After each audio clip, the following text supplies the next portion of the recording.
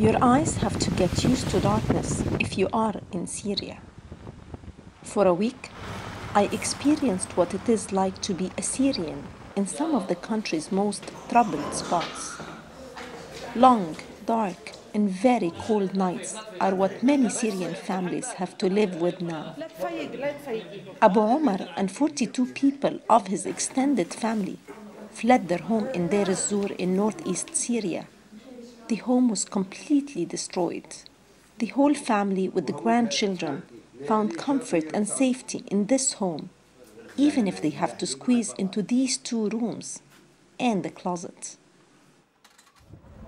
I am Abeer Etefa. I work for the World Food Programme. This trip took me to different parts of Syria where I visited WFP food distributions in both government and opposition controlled areas. I crossed the conflict line with WFP colleagues to reach people in Al Shaddadi district in Al Hasaka. It's an area under the control of the opposition where the needs are huge. The families survive on WFP food from one month to the other.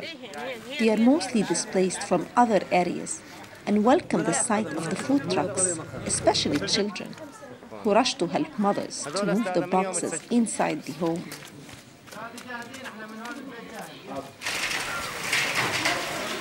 Wherever you go, you see torched homes, businesses, and some of the millions of civilians who left home in search of peace and safety. The World Food Programme is making it a priority to reach displaced families who lost everything with the conflict that has dragged on in Syria for over two years now. يعني كل هلا الغذائيات نفعتنا. ليش ما نفعتنا؟ يعني لو تكون مي موجودة تروحين تشترين منها من الدكان يعني أسعارها حيل غالية شو يا بابا؟ WFP is expanding its assistance to reach two and a half million people with food in the next few months.